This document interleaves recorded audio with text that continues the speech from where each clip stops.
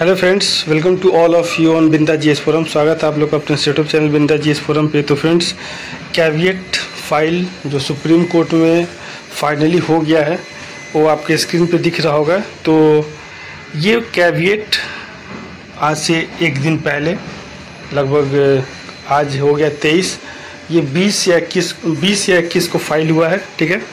और यहाँ पे आप लोग देख सकते हैं जो कैविएटी है ये स्टेट डिपार्टमेंट यानी स्टेट डिपार्टमेंट कह ले तो ये आ, बिहार गवर्नमेंट ही यहाँ पे स्टेट डिपार्टमेंट हो गया ठीक है? स्टेट डिपार्टमेंट में बिहार में आपका हो गया ये बीटीएससी ठीक है?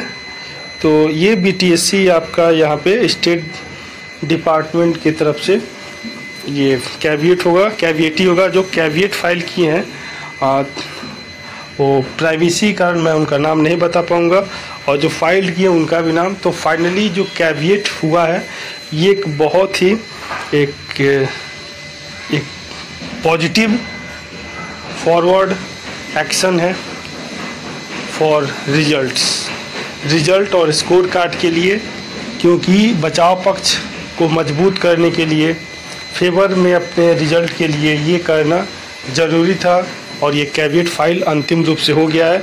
आप लोगों मैं बोला था अपने चैनल के माध्यम से कि मैं कैविएट का प्रूफ दूँगा तो मुझे जो प्राप्त हुआ मैं आपके सामने बता दिया।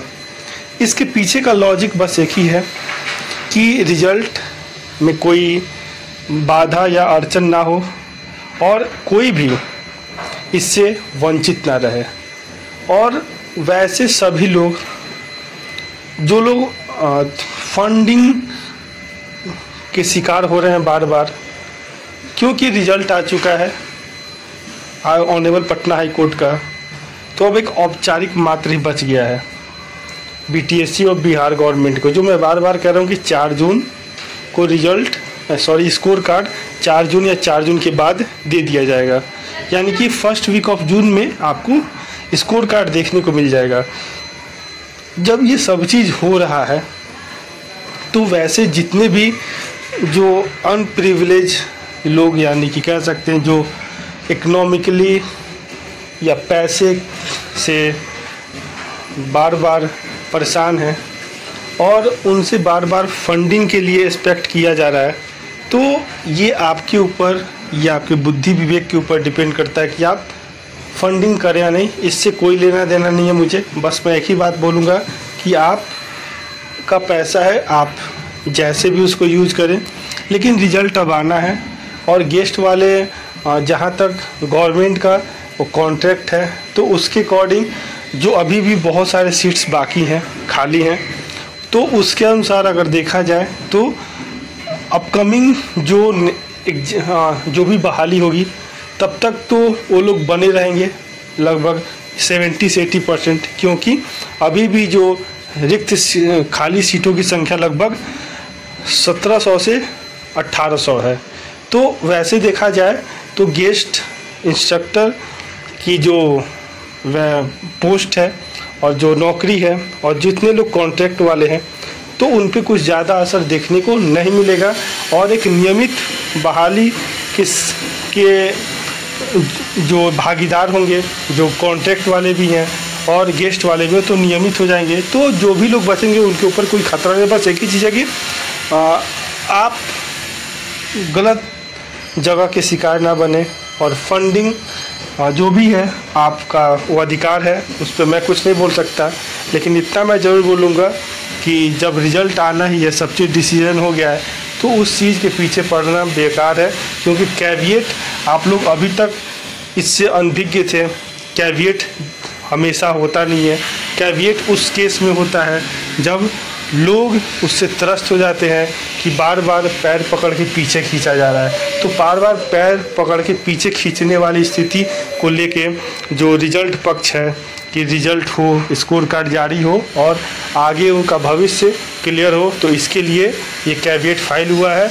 और कैविएट फ़ाइल हुआ है तो ये बहुत ही पॉजिटिव डायरेक्शन है कि रिज़ल्ट और स्कोर कार्ड आएगा और सबकी ज्वाइनिंग होगी। बाकी फंडिंग के लिए और मैं कुछ नहीं बोलूँगा। आप लोग अपना पैसा को व्यर्थ में ऐसे बर्बाद ना करें। सही जगह पे पैसा देना है तो दें।